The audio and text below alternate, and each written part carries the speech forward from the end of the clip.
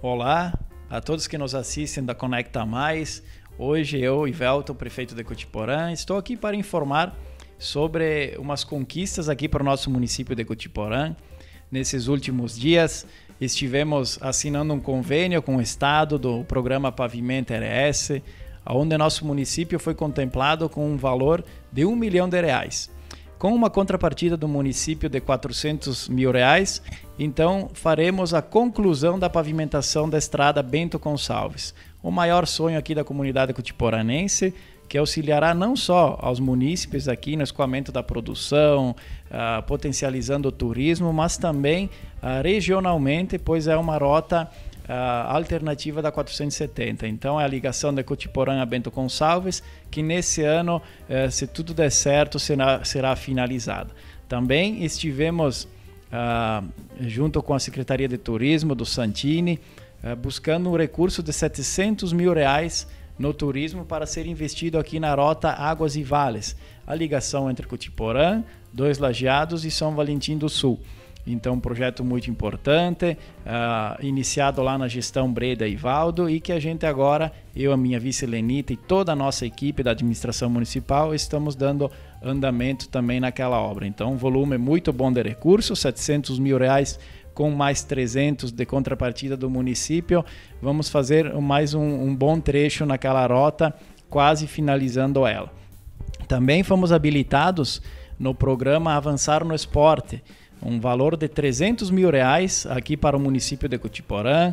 Então agora estamos aguardando para assinatura do convênio, que será investido na infraestrutura do esporte. Depois de tanto tempo que a gente não ouvia falar na Secretaria de Esporte e Lazer, nem na Secretaria de Turismo, agora a gente sim eh, conta com esses recursos vindo do Estado, que dá uma força muito grande aqui para o nosso município, município pequeno, e esses recursos fazem toda a diferença. Então será investido numa infraestrutura aqui no Parque Leonel Paludo, mais conhecido o Campo do Futebol 7, com vestiários, área de lazer e tudo mais.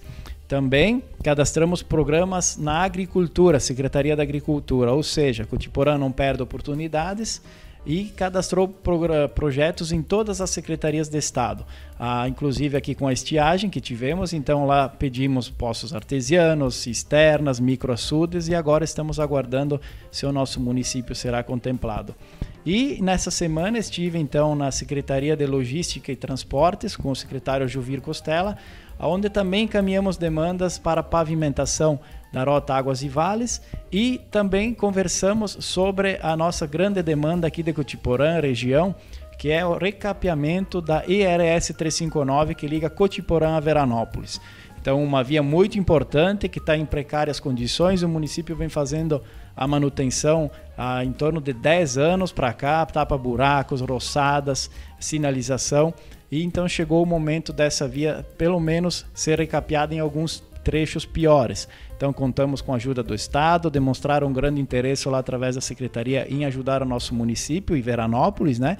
E ajudando nós, está ajudando a toda a região, que é uma via de acesso aí muito importante. Então Cotiporã celebra, sim, muitas conquistas. Aqui a gente deve tudo isso à participação da população também, apoiando a administração e a todos os nossos servidores municipais, secretários, vereadores que são parceiros e com certeza com a ajuda do Estado e da União é que a gente consegue esses recursos de maior vulto para conseguirmos investir aqui no nosso município.